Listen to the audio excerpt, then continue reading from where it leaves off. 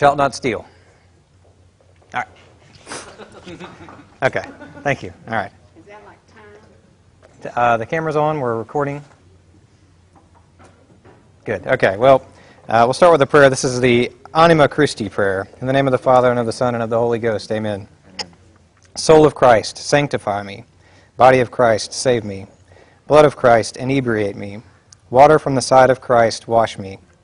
Passion of Christ, strengthen me. O good Jesus, hear me. Within thy wounds, hide me. Suffer me not to be separated from thee. From the malignant enemy, defend me. In the hour of my death, call me. And bid me to come to thee, that with thy saints I may praise thee forever and ever. Amen. In the name of the Father, and of the Son, and of the Holy Ghost. Amen. Um, so, now you guys, I guess this is the second penance service you guys have been to. All right. Just remember that penance services. Yeah. He almost, he almost made my joke for me. Just remember the penance services are not a substitute for actual confession.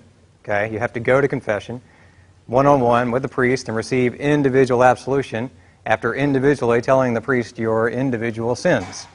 And so just keep that in mind because uh, some people will try to fool you with the false idea that you can be absolved generally and that you need not confess your sins to a priest.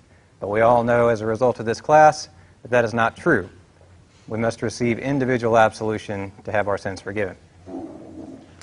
Also, you guys have like two days before your first confessions for those of you who aren't uh, going to be baptized Saturday, next Saturday. And so we'll all be praying for you that you have good confessions. I think Jerry is probably going to answer questions like that at the end, okay? Good question, though. we'll make sure everyone knows where they're going here at the end. So, just to, before Saturday, obviously, if you're going to be having your first confession, I've been talking about this for months now, but now is the time to really do a very thorough uh, examination of conscience and to make sure that you're ready for your confession. And uh, that fits in well with what we're talking about tonight, and that is the seventh commandment, which is, Thou shalt not steal. But just generally on these commandments, uh, we're talking about sin and the spiritual struggle that we all have against our passions. And the last time I talked, I think I talked about the passions and, and how we're constantly at war with them. We have to use our will to, and reason to subjugate the passions and to uh, basically wield control over ourselves and our sinfulness that we're always battling against as a result of original sin. And so I want to read this uh, short sentence from The Imitation of Christ by Thomas à Kempis. And if you are not familiar with The Imitation of Christ, I would recommend it. Um, it's a very good book. What it has is very short little meditations uh, from St. Thomas à Kempis. And uh, St. Therese of Lisieux said that this was the only book that she read. And she carried it around all the time. And it's said to be the second best selling book of all time, or the second best, most important spiritual book of all time, next to the Gospels and the Bible. And I think for large periods of church history after this book was written, people would basically read this instead of reading the Bible. It's a lot smaller. And so I want to read this, and this is from the section in Book 3, uh, paragraph 57, if you ever want to look at it. And this is uh, Christ speaking to uh, Thomas à Kempis, who's not a Catholic saint for some reasons that we don't need to go into, but, um, but this is Christ speaking to him, and he's talking about um, not becoming too depressed when you slip into some fault or other. So he's talking about the spiritual warfare. And so he says basically, um, when you undergo affliction, when you're battling against your faults, don't imagine everything is lost just because you often find yourself in trouble or the prey of grave temptations. You are a man, not God, after all, no angel, but flesh and blood. How do you think you could always stay in the same state of virtue when Lucifer in heaven couldn't do that, or the first man in Eden? I am he who raises up and supports those who are in distress, lifting up to my Godhead those who are aware of their own weakness. And so, as we talk about the commandments, we can have a tendency to get kind of uh, negative and um, legalistic about these things and um, that kind of attitude tends toward focusing on the, the negative aspects of these sins. And uh, assuredly, there is a negative aspect. Thou shalt not kill. That's a negative commandment. Thou shalt not steal. That is a negative commandment. Uh, but there are positive aspects of these things too. And we should make sure that we never despair over our salvation, particularly when we, when we go to confession and have our sins forgiven. So we need to keep that in mind. Uh, because maintaining a positive outlook about God's uh, merciful providence uh, is just as important as recognizing how sinful we are. And that's the thing that saves us. Um, so keep that in mind as we talk about the seventh commandment tonight. So, believe it or not, there's actually quite a bit of material to talk about for the seventh commandment. And I'm going to be stealing all, I, all that I talk about tonight from uh, my favorite book. Called The Roman Catechism, and it's the Catechism of the Council of Trent. And I recommend that you read it. And, uh, you know, get this. This is the good book. And uh, so I'm basically going to steal this. So if you have a Roman Catechism, follow along. James. All right. So the seventh commandment, thou shalt not steal. This is from Exodus. What are the benefits of this commandment? Well, when we talked about the fifth commandment, that was the not killing one, uh, the benefit there is that it sets a guard on our person. So we look at it as we shouldn't kill other people, but that's also a protection for us. It means that other people shouldn't kill us. The sixth commandment, thou shalt not commit adultery, sets a guard on our reputation. The seventh commandment sets a guard on our property and possessions. God forbids that our worldly goods, which are placed under His protection, uh, to be that they are protected. They shouldn't be taken away or injured by anyone. We have a right to private property, in other words. And we thank God for this benefit that's conferred upon us by being faithful to His commandment. So the way that we repay other people for not murdering us is by not murdering other people, right? The way that we repay other people for not stealing from us is by not stealing from them. This is really the, the, the, essence of the golden rule, if you really think about it. So there's two parts to this commandment, like there's two parts to every commandment, and that is the negative aspect and the positive aspect. The negative aspect deals with the expressly forbidden conduct of the commandment, that is theft. The positive aspect, keep on iPad, is um, deals with giving alms and that sort of thing. I'm going to talk about that toward the end. So the negative aspect. What's the negative aspect of thou shalt not steal? Stealing is forbidden. Okay, so what does it mean to steal? And I'm a lawyer, so I love these definitions. Oh, and I meant to use my joke about it's funny that a lawyer is teaching a class on not stealing. I'll use that when I teach the class later on about not lying. Okay. Uh, when I saw the schedule months ago, I thought to myself, I'm going to make that joke, and then lo, these many months later, I forgot to make it. Okay, so stealing. What is stealing? We're going to talk a lot about definitions, but don't get too uh, worried about that. I'm not going to drop too much law knowledge on you all. Okay, uh, but we need to understand what stealing is because I think that sometimes we think about, you know, I don't need to go in somebody's house and take their TV. Well, there's a little bit more to it than that. Okay.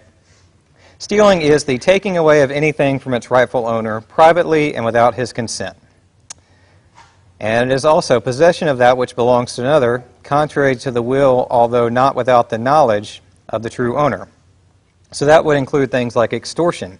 In uh, St. Paul's first letter to the Corinthians, he says, Extortioners shall not possess the kingdom of God. So extortion is uh, something that is encompassed by the seventh commandment. Robbery is also forbidden. I'm going to talk about the difference between robbery and theft because that's something that uh, non lawyers might not necessarily pick up on. Robbery is actually a greater sin than theft because robbery involves basically taking somebody something from somebody's immediate presence. Okay, we got one guy here who was on a jury for us in an armed robbery case. He knows all about that. Um, it wasn't you, Nate.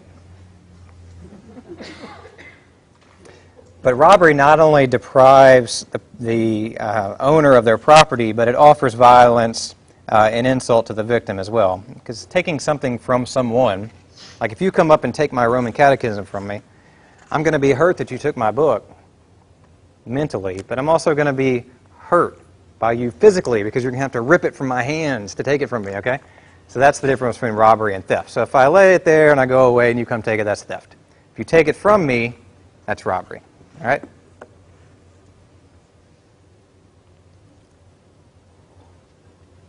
So what are the various names of stealing? some of these are funny and some of these are antiquated, and you can tell that this was uh, from the Council of Trent, which was in the 16th century. So, taking property from a private individual, that is theft. Taking property from the public is peculation. Enslaving a free man or appropriating another slave is man stealing. Stealing anything sacred is sacrilege. This would include things that are set aside for the necessary expense of divine worship, for the support of the ministers of religion, and for the use of the poor. So those are some names for stealing, okay? Um, so any questions so far? This is pretty rudimentary stuff so far. Good. It's from the public, so you just open the public. Peculation. Sign, right? Yes, something like that. Uh, yeah, for sale sign. All right. So, as with all the commandments, we know because Christ has told us, not only is the conduct sinful, uh, but the desire to commit the conduct is also sinful. So, the desire to steal is forbidden. And that makes sense because this kind of gets into the later commandments about coveting things and jealousy of, one, of someone else's property. The will and desire to steal are also forbidden because the law is spiritual and concerns the soul. So it's not just dealing with our actions like the, like the civil law would, uh, but it deals with our internal dispositions as well because it deals with our souls. In the Gospel of St. Matthew, we hear that from the heart come forth evil thoughts, murders, adulteries, fornications, thefts, and false testimonies.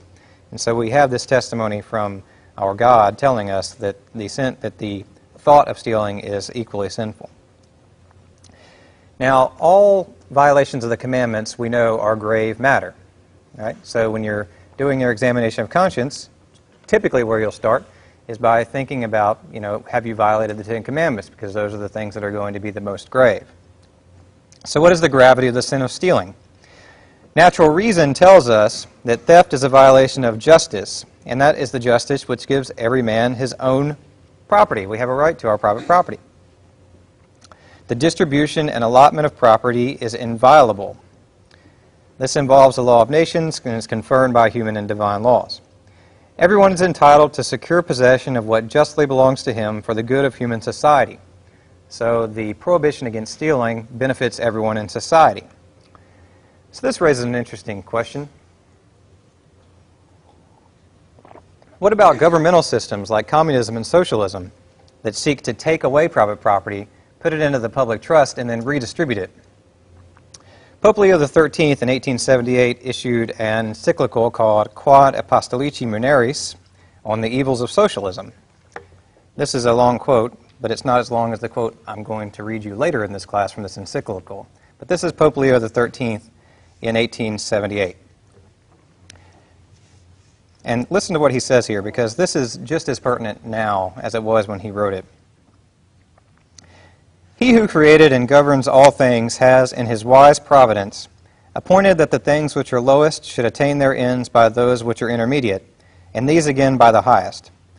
Thus, as even in the kingdom of heaven he hath willed that the choirs of angels be distinct, and some subject to others, and also in the church has instituted various orders and a diversity of offices, so that all are not apostles or doctors or pastors. So also has he appointed that there should be various orders in civil society, differing in dignity, rights, and power, whereby the state, like the church, should be one body consisting of many members, some nobler than others, but all necessary to each other and solic- solicitous for the common good. What does that mean? That means that the different class stratifications that we have in the world are instituted by God, the creator of all things. And so we cannot support a system of government which seeks to make everybody equal by the redistribution of private property. Therefore, communism and socialism are anti Catholic ideas.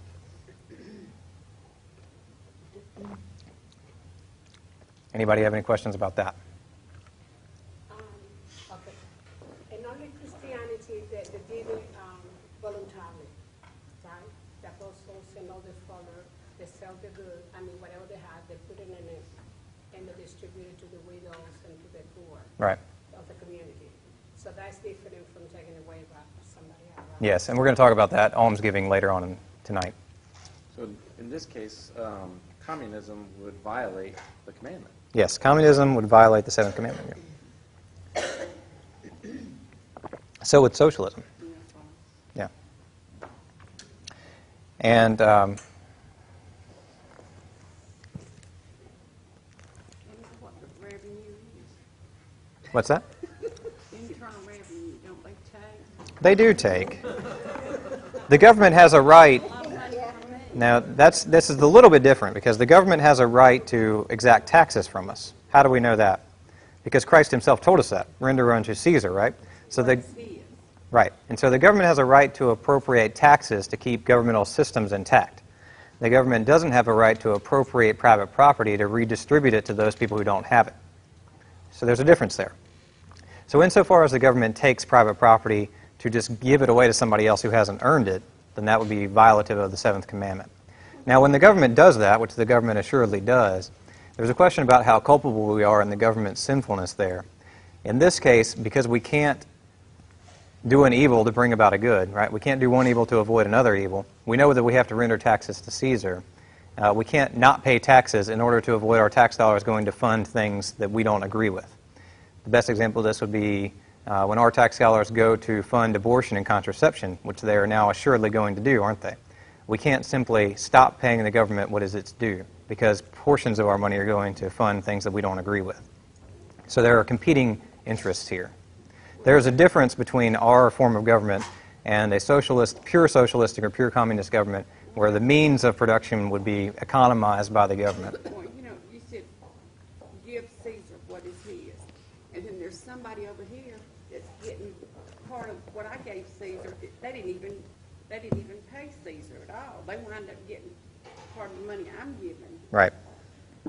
We can't, we can't avoid that, though. They should do away with internal revenue. You're, you can believe that if you want to. I- It's been tax week. You're telling me. I pay my taxes. Very annoying. Anyway, so what are the chief kinds of stealing? We're going we're to come back and talk a little bit more about this idea of communism and socialism because that's, frankly, more interesting to me than uh, the other thing. Okay, so chief kinds of stealing. Theft first. We're going to break this up into theft and robbery. Theft. Those who buy stolen, there's a bunch of different types of theft. That's what I'm going to talk about here. Those who buy stolen goods or retain the property of others, whether found, seized, or pilfered, commit theft. St. Augustine says, If you have found and not restored, you have stolen. If you have found and not restored, you have stolen. So if I'm walking down the street and I find uh, your wallet and I don't give it back to you, I've stolen it. If the true owner cannot be discovered, whatever is found should go to the poor. But this doesn't apply to unappropriated things, okay? So say you're like a metal detector person who uses a metal detector on the seashore and you find some precious gem. Not, not in the form of a ring, but just a gem or something like that. I don't know. I don't find stuff. Uh, but say you found something like that, something that had never belonged to anyone. You could keep that. You don't have to give that to the poor. But if you find some sort of like an engagement ring or something like that, uh, but you just there's no way you could tell whose it was, um, then you may consider donating, you know, selling that and donating the proceeds to the poor. What I'm talking about here is set forth in uh, the Summa Theologica, second part of second part, question 66, article 5, response to objection 2. And that's a pretty interesting portion of the Summa if you want to think about theft. If you need that citation, come talk to me after class and also get a better hobby. Nothing? That was funny. Okay, all right.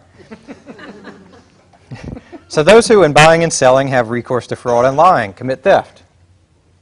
So if someone is selling you something for an exorbitant price, or if they're lying to you about it, you know, like on eBay or Craigslist, I got this great TV.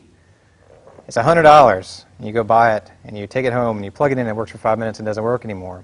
They defrauded you, come to find out. They had it set up where it would only it would work for five minutes, and you wouldn't be able to know that there was something wrong with it. They have committed theft. Selling bad or adulterated goods as real and genuine, or defrauding purchasers by weight, measure, number, that sort of thing. So don't do that. Those are theft. Laborers who exact full wages from those to whom they have not given just and due labor violate the seventh commandment. So laziness at work violates the seventh commandment. It's a grave sin. So these are some of the things that you may not think about when you're doing your examination of conscience, but now I'm telling you so you know. Those who obtain money under the pretense of poverty are but deceitful words. So the guy on the street corner who's like, I'm homeless, give me a dollar. And you give him a dollar, but he lives in a mansion down wherever the mansions are making. That guy is committing theft because he's lying to you. Those charged with offices of public or private trust who neglect or indifferently perform their duties while enjoying the salary of their office. So those people. Not going to name any examples? All right. So those are different forms of theft, okay? Now, any questions so far? No? Good. What if you find something and you need it? What you are the poor? I'm going to I'm going to get to that. I'm going to talk about that. I mean, why, why go to the middleman? You just, you just did two things I'm going to talk about that kind of issue at the end, actually. yeah. considered a gift. It could be, yeah. Yeah, I mean, if you're a poor person and you're walking down the street, you find 100 bucks, I think, good for you. Yeah, I'd say, you know, don't go see, Yeah, I think in that case, you're probably okay. Yeah.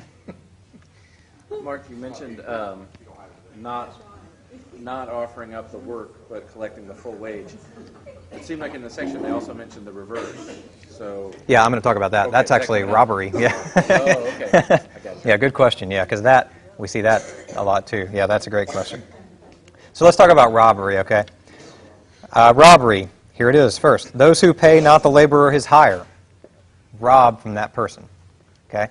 Um, so if you work a job where you get underpaid, drastically underpaid, like I do, uh, my employer is robbing from me because they're making me work and they're not paying me enough. I believe all our employers in here are robbing from us. hey, you're like a general manager. You are the robber. No, anyway. Just kidding. Okay. So those who do not pay or who turn to other uses or appropriate to themselves customs, taxes, tithes, and such revenues owed to church or civil authorities. And usurers, those who exact a crazy uh, amount of interest.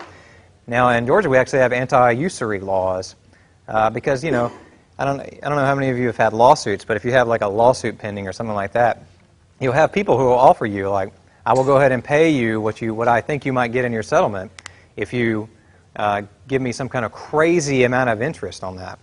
So charging a crazy amount of interest, like, uh, like the payday lending places, they'll give you an advance on your payday or your title to your car or whatever, but they'll charge you like a ridiculous amount of interest.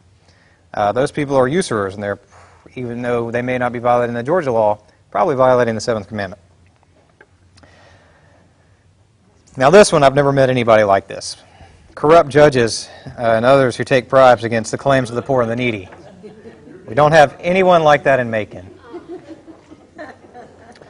Those who defraud their creditors and deny their just debts. We have a lot of people like this in, in America now, don't we? People who have credit card debt and they just don't pay it. People who, I'm not talking about people who run up credit card debt and then they get into a bind and they can't, okay? I'm talking, yeah, I'm not talking about you, Nate. I'm talking about people who, Interest is like stealing from us so that we can't pay our debt. It might be, or it might be something that you agreed to in advance. So, yeah, that's different. That would be theft.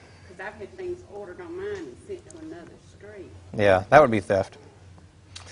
Yeah, so uh, yeah, if you know that you know, if you know you're never going to have any money, right? Like me, you just, you're never going to have any money. You can't really charge stuff. You got to not buy stuff on credit. It's just a really fancy way, or not so fancy way, of stealing. And it might have taken a while for you to realize that you were never going to get that money and now you've already charged up. Right. That's why. That's why I think there's a difference here. We're talking about a situation where when you do that, you know that you're not going to pay for it, which that's pretty clearly theft, right? Yeah. Does that include the, you know, say you get a lot of credit card debt up and then you go to claims court and then they're like, we'll settle with you for like half whatever you're gonna pay? Would that come under there? No, I think that that is just a realization that they've probably charged you too high an interest rate. All right. So, like for me, for example, I have uh, what I estimate to be $786,000 in law school loans. And so, I'm kidding about that. but they are high, okay. Um, it feels like that much. It feels oppressive like that. Um, but if I just stop paying those, I mean, that is a lawful debt that they have. And at this point, thank God I have enough money to pay for that. But if I just decided I just don't want to, and believe me, I don't, and so I didn't, that would be theft. Because they, they have I have a lawful debt with them. I owe it to them to pay them.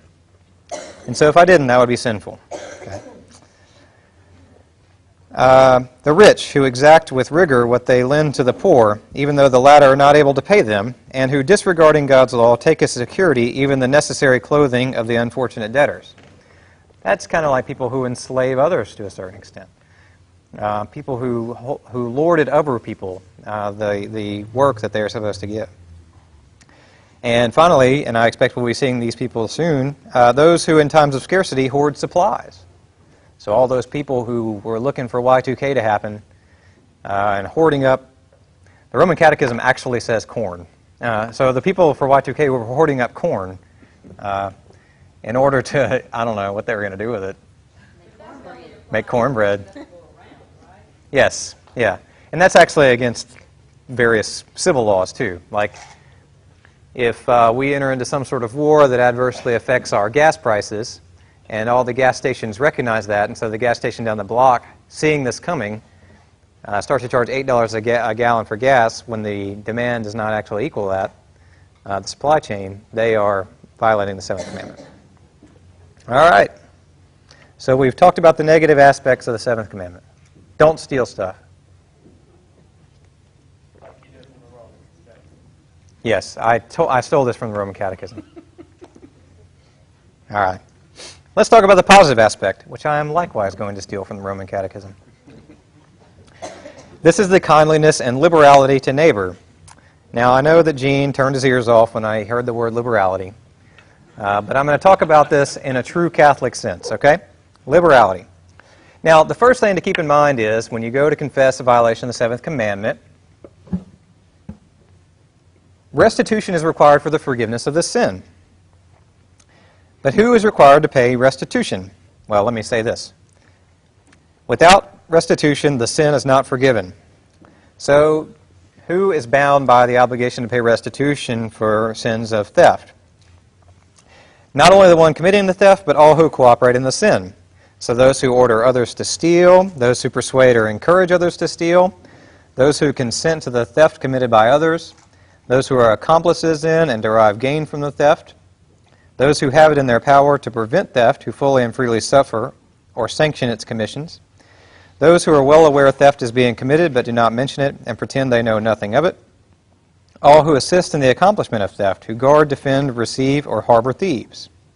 All these people are bound to make restitution to those from whom anything is stolen. And this includes children who steal from their parents, and wives or husbands who steal from their husbands or wives. Everyone is bound to make restitution. That's part of the. As an attorney, what do you have to say about knowing about the theft and doing nothing to stop it? what I can say is that I've never been an eyewitness to the theft, and so I don't know that any of my clients have committed theft. What if the client tells you they have? Well, they, they are someone who is alleged to have committed a theft. I don't necessarily trust their truthfulness. So um, we know that. See, I actually knew someone was going to ask me that, so I thought about this last night. How am I going to answer that question? Uh, But you're still bound to defend the. I am, uh, and I think that. Uh, You can't tell the DA they stole. yeah, I can't do that. Yeah, if he pleads guilty, yeah. There's a difference in the civil law between no, no there, there's no nothing about the criminal law in the United States deals with truth in any sort of meaningful way. So, Unless, are you now going to have to make the restitution? No, and no one can force me to. no, actually, I'll be honest with you guys. I don't represent a whole lot of people who steal stuff. Um, up until very recently, I was representing people in drug cases, and now I represent people who do more serious things like murder and rape and that sort of thing. Um, I personally don't really like to represent people who, who have stolen or are alleged to have stolen stuff. They're, they are a different sort of people that are much more difficult to deal with, in my opinion, than drug addicts and people who shoot at other people. Uh, they're a very special breed of person, I think, because I think that there's something different about uh, stealing than there is about, you know, habitual drug use, for example, or even shooting at someone else. I think we can all understand the sort of anger that might trigger you to shoot at somebody else. But for the fact that I haven't had a gun on certain occasions, that's been the thing that has prevented me from shooting at someone else. I think we can all identify with that sort of heated temper before it calms down, okay? And drug people, they're people who have serious problems. People who steal stuff, and I've represented a lot of them, habitually steal stuff, and they just don't stop stealing stuff. And it's really annoying because I just want to tell them, stop breaking into people's houses and stealing stuff. Just stop. Drug people can't stop that. You may or may not be able to control your anger in any given moment. But people who just walk down the street and break into someone else's house, there's a very clear moral component involved there, and I personally don't like to represent people who steal stuff. But one day they'll break into the house of one of those people you were talking about that shoot people. Yeah. They cancel each other out. It's like, There you go. There is justice. So that's my personal take on it. I think it is mental illness because I was in the school when I was a young girl, and there this girl, she could not help herself. Yeah. She things from the other girl, and she could not, and she lied by everybody knew about it. Yeah. So, Yeah, to, to, in some cases, there's a, there's a mental compulsion there. I don't understand it. I don't have a whole lot of sympathy for it. So again, in that situation though, there you are with the thief, sitting across from you, representing the thief.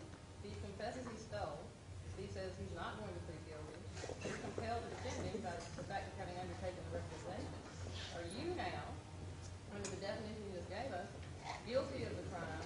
If you need to go confess and you have to make the restitution? No, I don't think so because my job is really uh, not to necessarily prove that he didn't do it. My job is to is to test the state's evidence to see if they can prove that he did it. And I think that that's a very meaningful distinction in any case where you're defending people. Uh, it may not seem meaningful to you all, but it, that's the, really the difference uh, in our system. So, Marc, Good question, yeah. Your, your idea that thieves are a different sort of breed.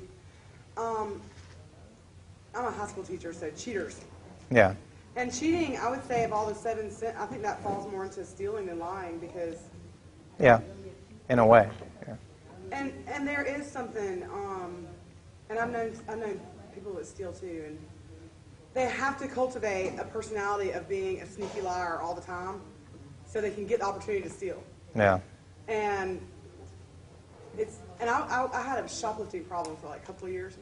it's on my list. I got my list. It's shoplifting all the years. Um, and the only thing that stopped me was I got caught and got put back in a police car and got scared the crap out of. And Yeah, and that made me realize, ooh, that's worse than the anxiety from stealing. And yeah. Some it- people that works, yeah. so I just, you know, like with drug addicts, the pro- like we all know somebody who's gotten gone down that road, but when you are dealing with a stealer and they steal, they're going to lie about everything else. yeah. And so it's just, I, I see what you're saying. It's an interesting way to put it. Yeah. Now, I'm not saying I'm not a psychologist or a psychiatrist. I'm talking about my experience having represented uh, about uh, 1,100 criminal defendants. That's just my experience. All right, so let's talk about not many of them thieves, thankfully. I'd rather represent a child molester than a burglar. Anyway, um, alms deeds. This is the positive aspects of this commandment. Alms deeds, okay? Alms deeds, alms giving. This is important during the time of Lent, isn't it? Right? We're supposed to be practicing prayer, fasting, and almsgiving. And um, so, seventh commandment, alms deeds. The seventh commandment implies an obligation to sympathize with the poor and needy. God will condemn those who have omitted and neglected the duty of almsgiving. Those who are unable to give should at least lend to the poor what they need to sustain life.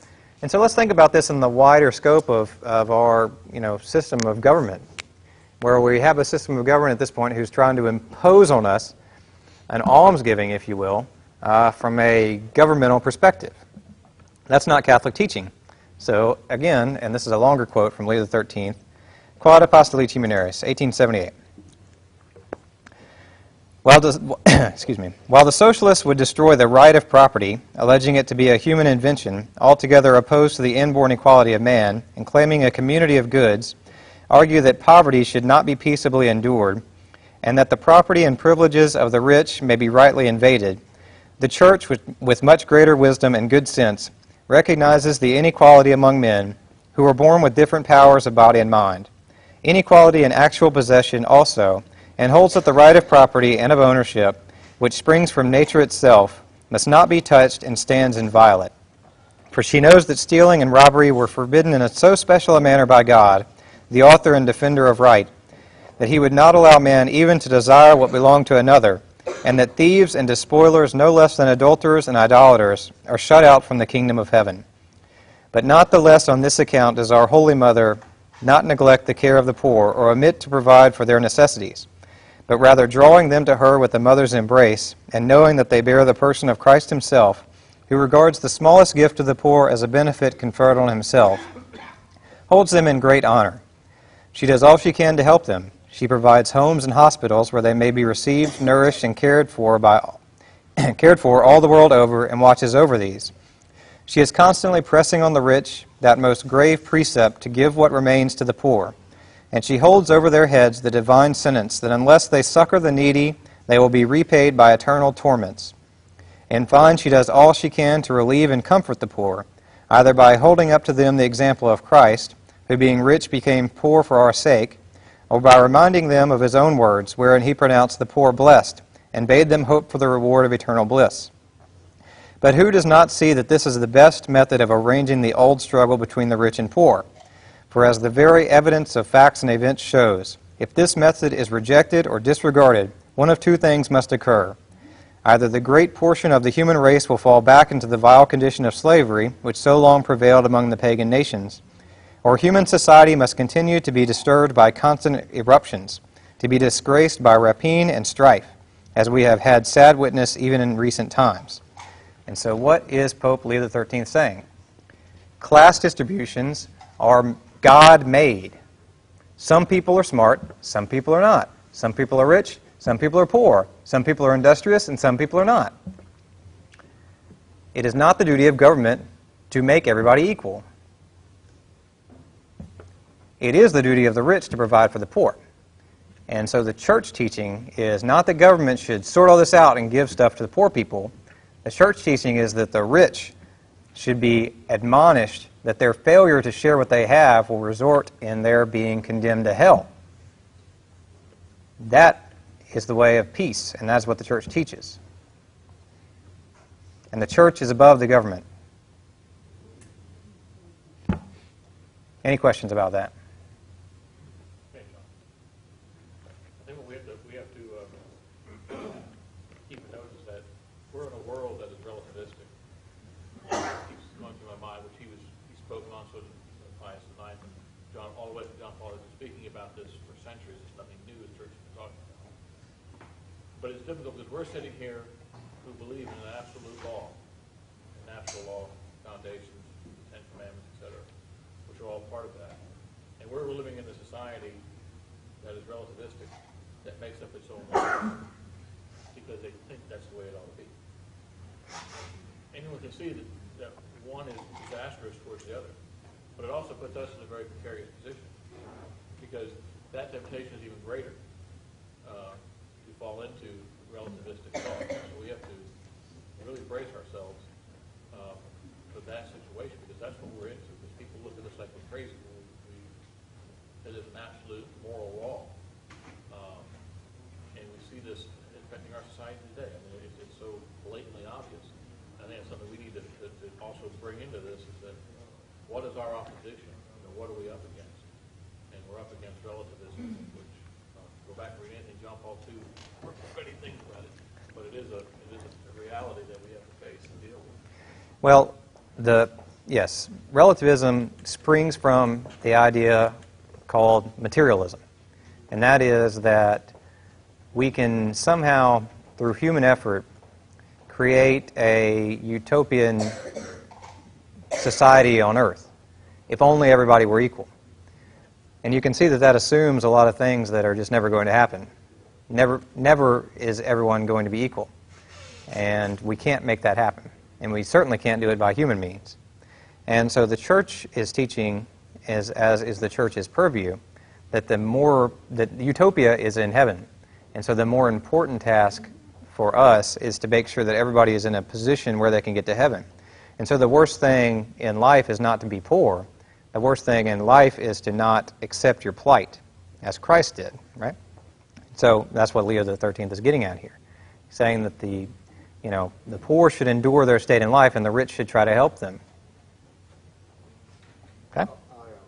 I, uh, I tell a lot of my liberal friends, find me a place in the New Testament where Jesus or Paul speaks against slavery, where they talk about social justice, where they talk about equality or they talk about class.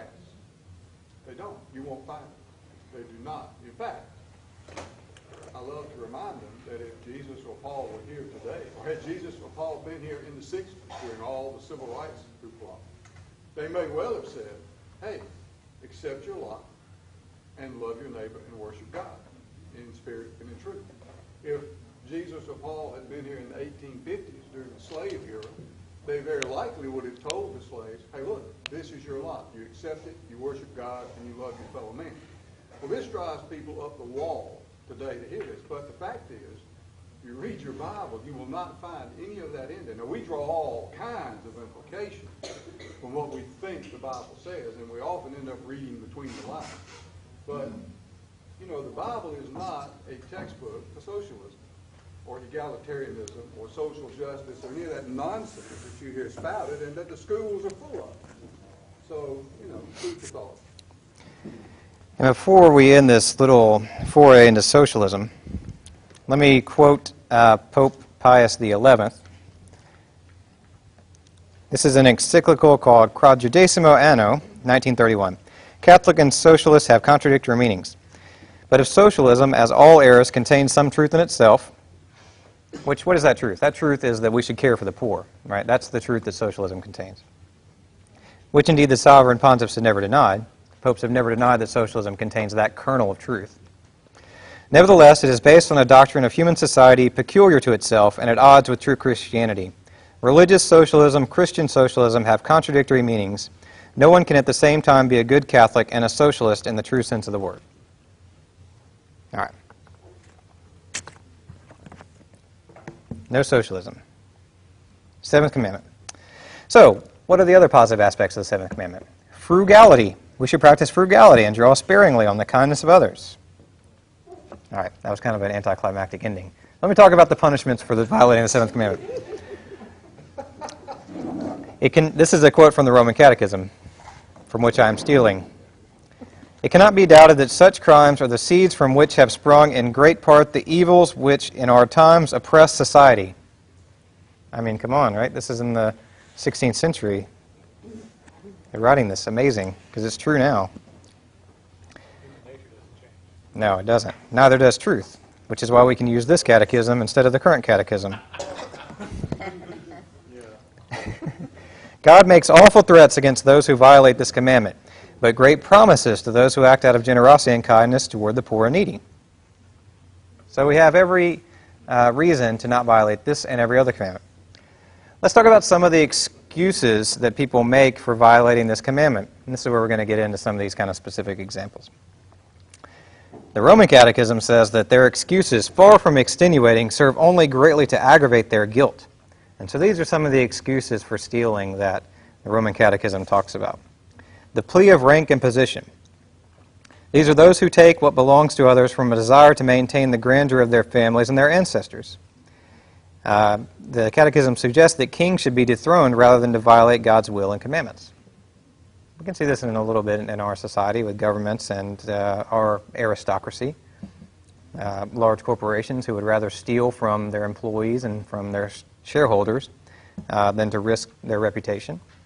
I think that's, I think we'd probably see that on a smaller, local, personal level too. I mean, Yeah, yeah, yeah. We have uh, uh, uh, aristocracy who will do anything to maintain their position. The plea of greater ease and elegance. Those who desire greater ease and elegance. Pretty simple, right? You can't steal from other people just because it's easier for you. The plea of others' wealth. I have a note to read this. We'll find, plea of others' wealth. That's what I was just going to ask about. We do not, but do we not sometimes hear the thief contend that he is not guilty of sin because he steals from the rich and the wealthy, who in his mind not only suffer no injury, but do not even feel the loss? Such an excuse is as wretched as it is baneful. You can't steal from people just because they're rich.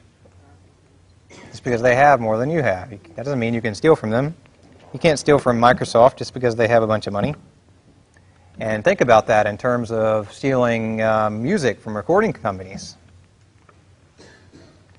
Now, one can suggest that the recording companies are violating the seventh commandment by doing a disservice to their recording artists, but didn't those people sign those contracts? And so just because we perceive the system to be unfair doesn't mean that we can right the system by stealing from them. And so if you stole music, confess that on Saturday. Bootlegging movies is a good example. Very good example. The plea of force of habit. You can't steal just because it's a habit. I've talked about this every time I've talked, right? You cannot excuse your sinfulness by saying, I just always do that. You can't say, ah, that's just my habit, that's my character. No, that is your sinfulness. Fight it.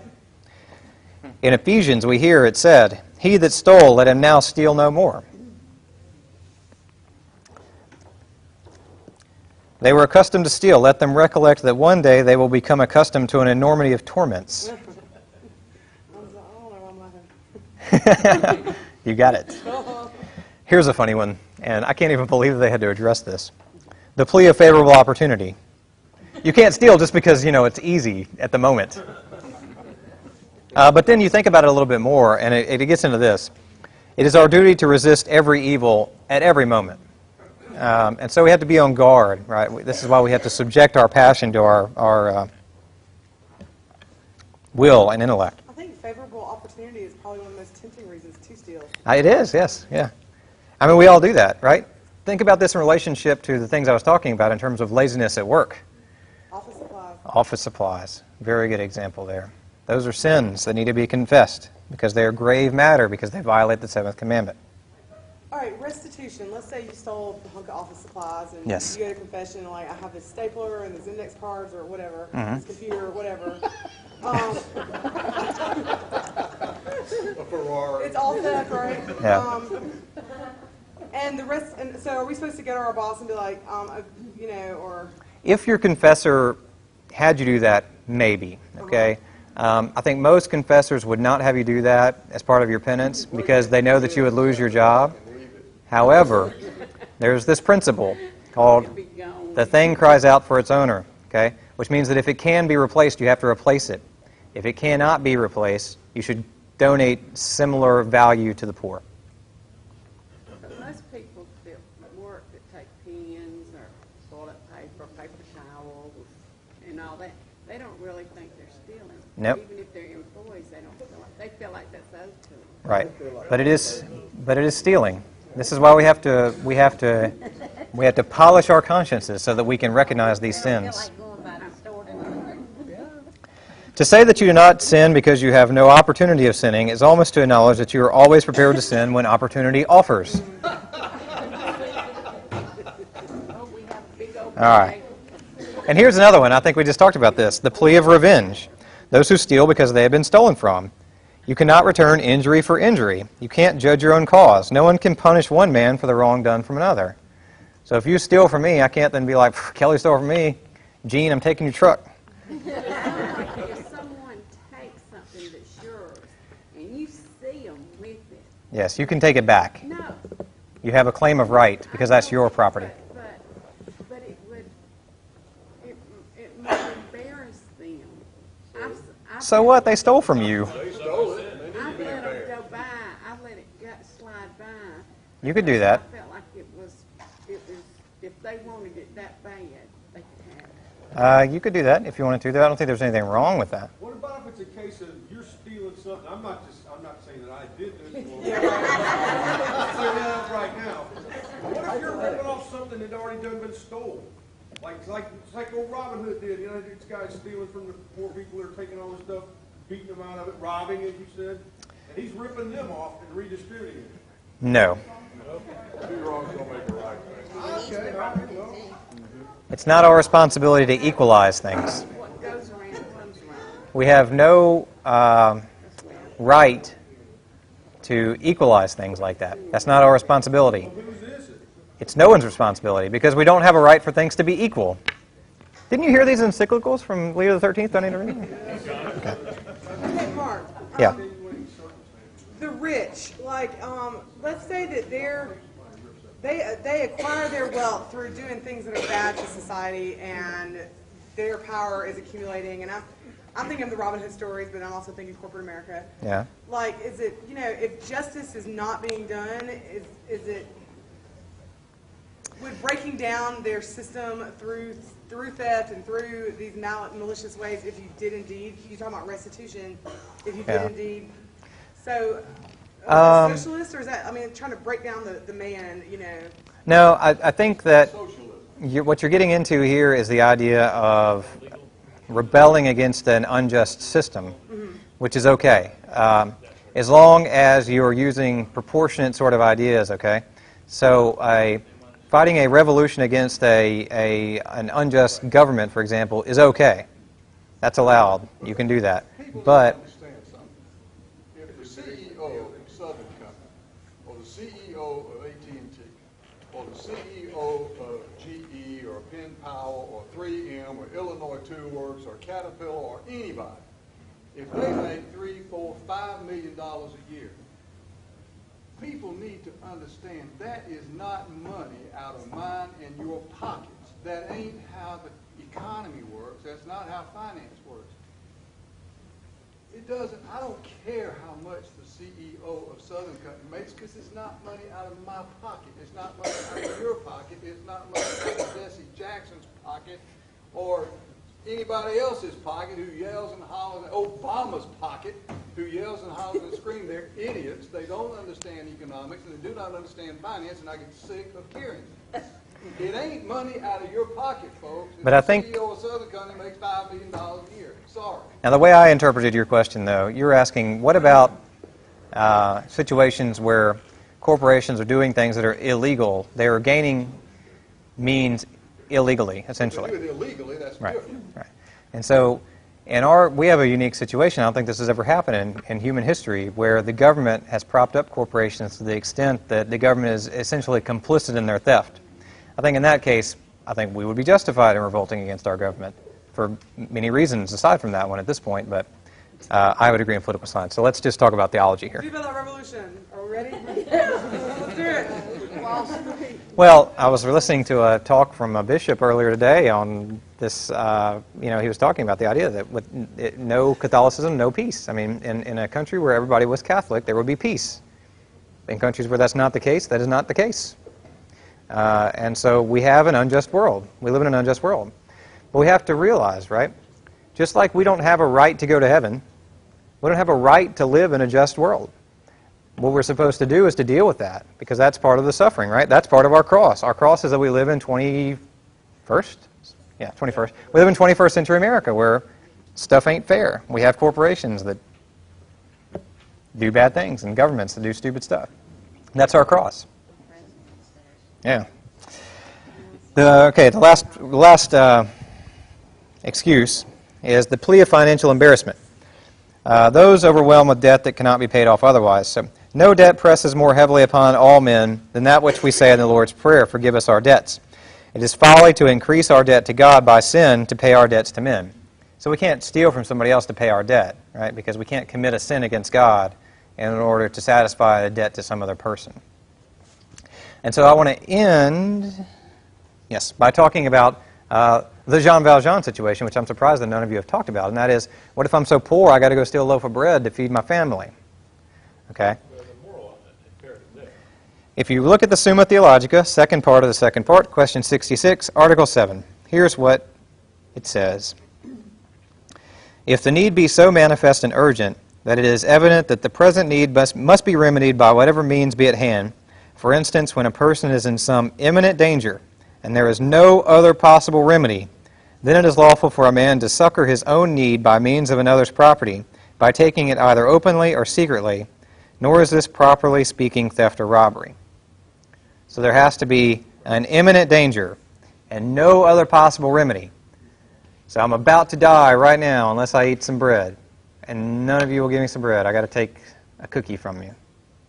Well, we've seen people, I've seen a family on the side of the road and they ask for money because they, they're from out of town and their car's broke, and they need money and the kids need to be fed.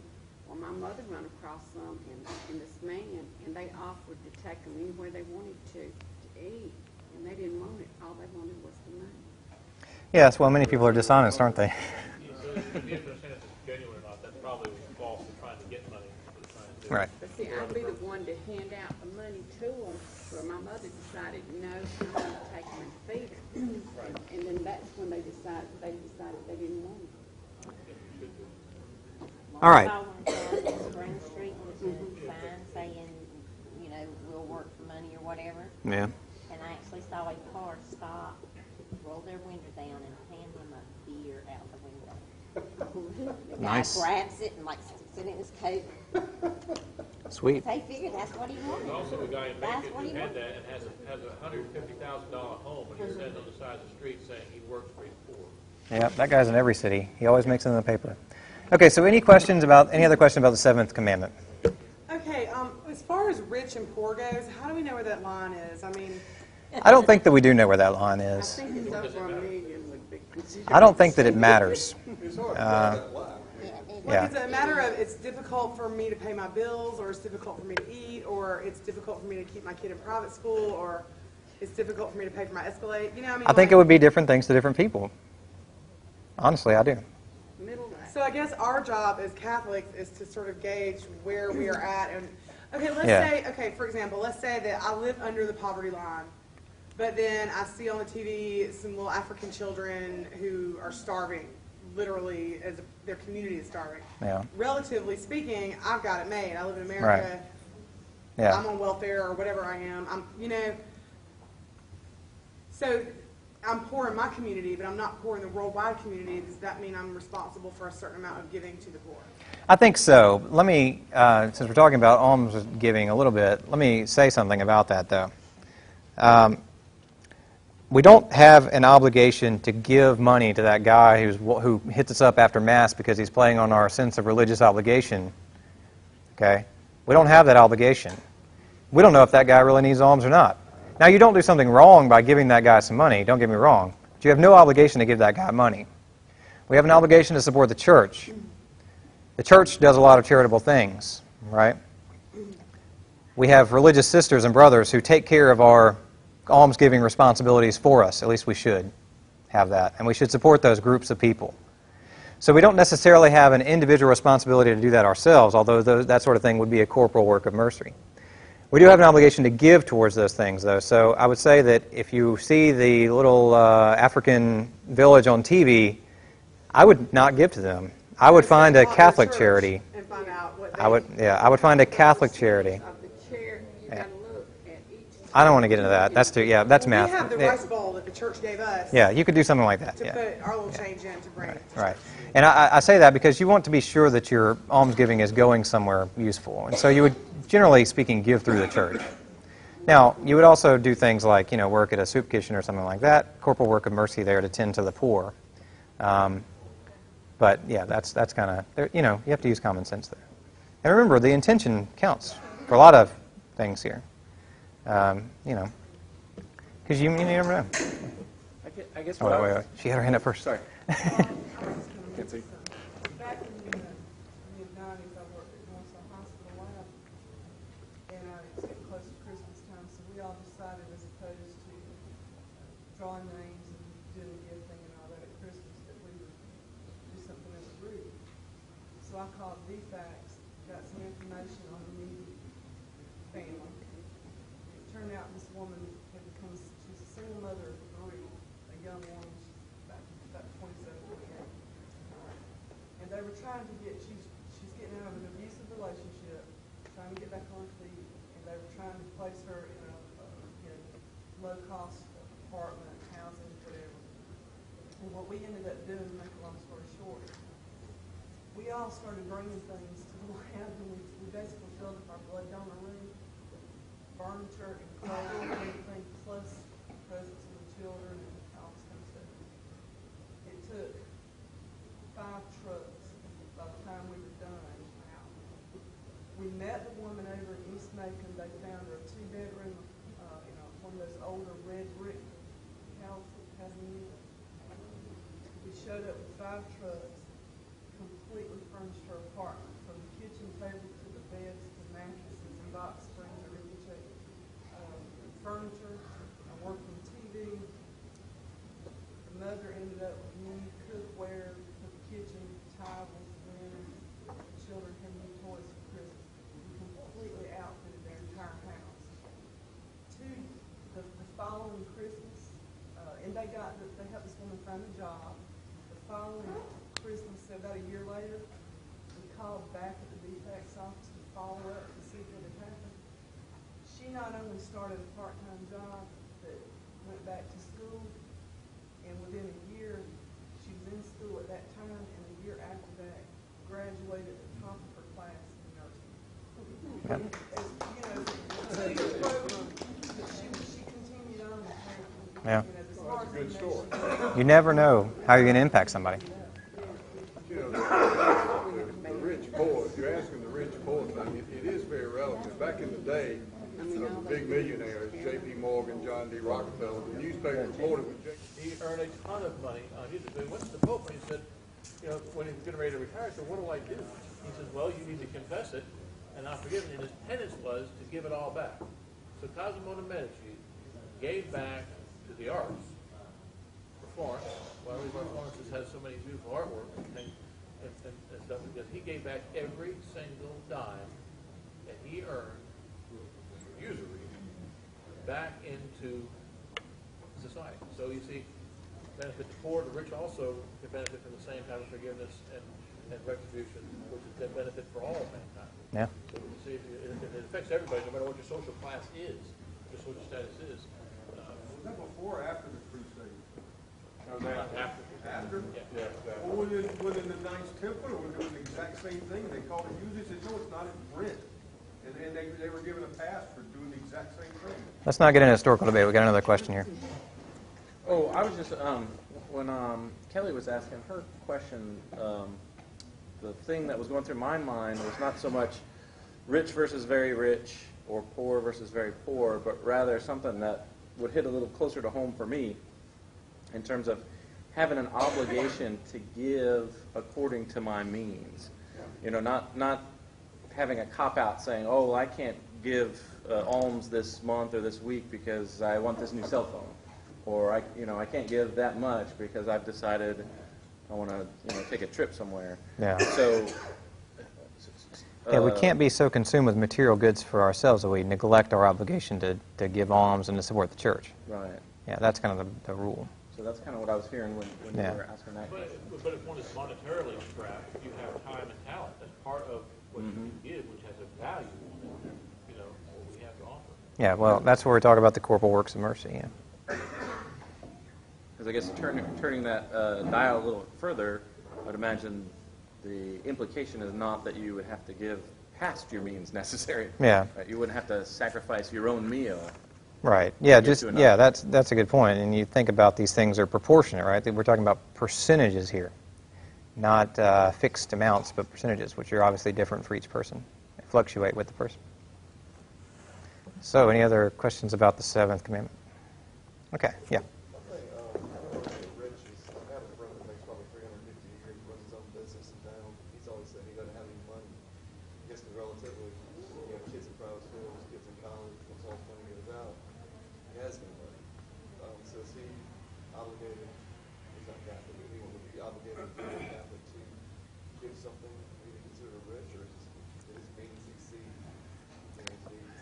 I don't know. I mean, I think you would need to, you know, only he can judge himself on that. I was, you know, God can judge him on that. I don't know. I would like to make that much money. I would use it wisely, Lord. Okay, anything else on the seventh commandment? Okay, so, um, you know, you guys are all preparing for your first confessions this week, so make them count. And, uh, you know, it's not very scary. Just relax. Just relax. That'll be fine. Uh, just, you know, come prepared. The best thing you can do for a confession is to be prepared for it by accurately recounting your sins and to uh, focus on uh, contrition. Because confession is not valid unless you're contrite. So you have to be contrite. And so don't neglect the contrition aspect when listing your sins. And secondarily, I wanted to mention briefly, because this is the last time I will talk to you all before uh, you join the church, and that is these liturgies that we have coming up uh, are very important liturgies uh, for all of you and for the church as a whole. Sunday's liturgy is the uh, liturgy of Palm Sunday, and it begins with a procession of palms. And this recounts the Lord's triumphal entry into Jerusalem uh, just a few days before he was executed. And we will get a foretaste of that sort of, we'll, we'll get to experience that because we'll have a procession of palms before the Mass, and there'll be, you know, glorious singing and that sort of thing. And then during the Mass, we will have the Passion sung or chanted or read here uh, to us. And so we have a, the triumphal entry followed, you know, 10 minutes later by the Passion Gospel. And so it's a powerful witness uh, to, to the dichotomy that was Christ as he entered Jerusalem and the way that people treated him. And we treat him like that all the time. We think about him in a very triumphal way, and then we will just as soon turn around and crucify him again with our sinfulness. And so this is an important liturgy. Uh, and then next week, starting on Sunday, is Holy Week. And Holy Week is the, as the name indicates, holiest time of the year. And it is the last week of Lent. So it's the time for you all and for all of us to um, make our immediate preparations for uh, Easter. And so this would be the time to ramp up the prayer and fasting and almsgiving. If you're not fasting for Lent, I would suggest at least make Holy Week a fast. That would be one meal per day. And uh, on Fridays, no meat. Good Friday is a day of fasting and abstinence anyway. So consider that uh, for your Holy Week as you approach the joining, joining the church. Uh, Holy Tuesday, I think it is, there's a Chrism Mass in Savannah. Then Holy Thursday, there will be the Holy Thursday Mass, which commemorates the institution of the Eucharist. And so I advise you to come to all these liturgies. So that'll be a, uh, a Mass, and that'll be the last Mass before Easter. Uh, and so that'll be the Mass that uh, commemorates the institution of the priesthood and the institution of the Eucharist. What about Good Friday? On Good Friday, there is what's called a liturgy of the pre-sanctified. It is not a Mass. Um, the liturgy of the pre-sanctified has the uh, consecrated hosts that were left over from the Holy Thursday Mass are distributed in a communion service, and it's a very somber Mass. There's a litany of prayers for uh, various intentions, for the conversions of various peoples, and uh, a lot of standing, kneeling, and that sort of thing. So from Holy Thursday up until the Easter Vigil, there's no uh, pomp really in the church. Uh, there is uh, no organ music, there's no bells, um, and there's no Mass on Good Friday or, or Holy Saturday. The Adoration Chapel is closed starting Thursday night. And Thursday night after the last Mass, there will be a uh, adoration in the church until midnight to commemorate uh, Christ's uh, agony in the Garden of Gethsemane. And so this is really where, um, you know, when our Lord asks, Can you not spend one hour with me? You can, and it's Thursday night. So come to the church for adoration until midnight. Friday, Liturgy of the Pre-Sanctified, as I said. And then Saturday, there's no Mass anywhere in the world. Uh, and uh, be good Catholics, and when you come into the church on Good Friday, or I'm sorry, on Saturday, don't be genuflecting toward the tabernacle because Christ will be removed from the tabernacle on Thursday night. And so don't give bad example to everybody by genuflecting to an empty tabernacle. When Christ is not in the tabernacle, you bow towards the altar. Okay? Right. You can you can notice that the light's on. Yeah, the light won't be there because he won't be there. Are you talking about the Saturday for Easter? Yes. Like, okay. Yeah. Then eight o'clock, obviously that changes? No. Uh, yes. Yeah. At the consecration. Yeah. So you'll notice when you come to mass for the Easter Vigil on Saturday at eight, a whole bunch of really uninformed Catholics genuflecting before they get in their pews, and you can laugh at them and think to yourself, "I know better than them their faith." Um, procession, where do we, the congregation, go at the beginning of Mass? You come into the church as normal, and then everyone will go to the front, outside the front, So if it's not raining. out there by. Yeah, the Father Madonna will come to the ambo and tell everybody, make sure you get a poem and go up front. Uh, if we had another church close by, we would probably go there and then walk from that church to this church. Not at Palm Sunday. Easter Vigil will be a whole different thing. Yes.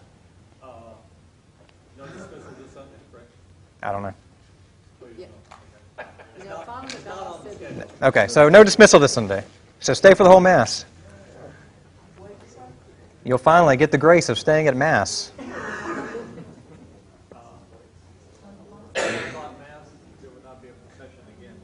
Twelve? I think there is a twelve at uh, procession at twelve and nine thirty. I think so. Yeah. Yeah, I think there's. I want to say there's two. Come to the nine thirty. You'll be guaranteed a procession. Processions are very powerful, and processions are very Catholic. We process around and we carry stuff. It's Sacramental. It's a sacramental.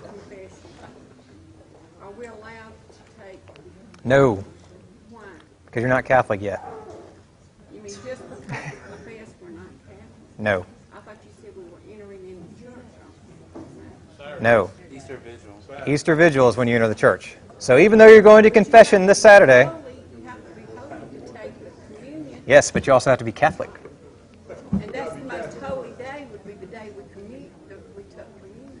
I mean, You cannot receive communion until the Easter Vigil. You're confirmed and you be confirmed, but you can't be a, you're not Huh? totally I believe they would, Once you're confirmed, if they want to become Catholic. Okay, here's the other thing. All right, here's what the process is. Everybody listen carefully. You go to confession Saturday. This Saturday, you go to confession. At the Easter Vigil, for those of you who are not baptized, or for those of you who have already been baptized, you will be formally received in the church, which is accomplished by making a profession of faith and a handshake with the priest. That's when you become Catholic. The confirmation doesn't make you Catholic. The handshake and the profession of faith make you Catholic. So just because you've confessed doesn't make you Catholic. Now, I would note, you're going to confession this Saturday. You have a whole week there to sin. Confessions will be heard on Friday and Saturday. I recommend you avail yourselves of them, even if you haven't fallen in mortal sin, because you want to be in a good, you know, a good state when you join the church. Okay? Should have saved confession to that time. So don't sin for a week. Don't send for a week. Well, see, if you'd have had We're just for sale sign. No, uh, the reason that's not done is because Holy Saturday is a very busy day. Very, very busy. Okay, any questions about the, lit- these liturgies? Come to all of them. And be Catholic. That's what we do.